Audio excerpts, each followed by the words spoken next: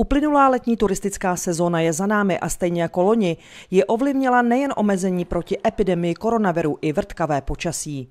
Provozovatelé zařízení v Hradci Králové jí hodnotí rozdílně.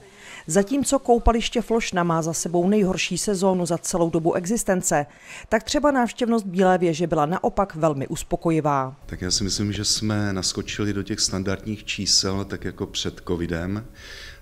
Dokonce srpen, eh, díval jsem se na statistiku návštěvnosti Bílé věže a ten byl rekordní. Měli jsme tam přes 6 tisíc návštěvníků. Eh, letos eh, do konce srpna je tam přes, přes 16 tisíc. Nicméně ani tak návštěvnost Bílé věže nedosáhla na předcovidová čísla, která se za letní sezónu pohybovala kolem 40 tisíc návštěvníků. Příznivá jsou i čísla návštěvnosti u kostela svatého Mikuláše. Myslím si, že se nám docela pěkně rozeběhl i kostel svatého Mikuláše. Máme tam návštěvnost přes 500 eh, lidí. Eh, dobrou sezonu eh, máme i v letním kině Širák. Sice toho rekordu pět a půl tisíce v roce 2019 jsme nedosáhli, ale myslím si, že to ovlivnilo nepříliš dobré počasí, bylo poměrně dost deštivých večerů, ale jsme na 4,5 tisících a to je velmi, velmi dobrá sezona. A déšť i vrtkavé počasí se také negativně podepsalo na číslech návštěvnosti hradeckého koupaliště Flošna.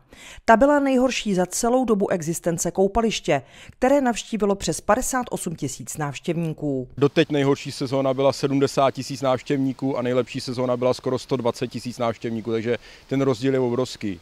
Podepsalo se na tom především počasí, co se týče června, ten byl skvělý, tam byly krásné dny a ten červen byl jeden z nejlepších, co jsme zažili.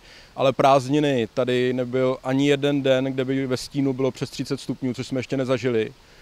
Většinou takových dní máme 20 a to opravdu se podepsalo, že ta návštěvnost je nejhorší. A druhou věcí, co se podepsala na tom, tak byly covidové opatření, které nám nejdřív omezovaly návštěvnost právě v tom červnu, kdy bylo krásně, tak jsme měli omezenou kapacitu na 50 a potom, když se udělalo ošklivě, tak jsme měli celkovou kapacitu, což už nám nějak nepomohlo. Čísla návštěvnosti v Hradci Králové kopírují ta celorepubliková. Počasí se ovlivnit nedá, ale provozovatelé tajně doufají, že je v příštím roce snad už nebudou limitovat koronavirová opatření.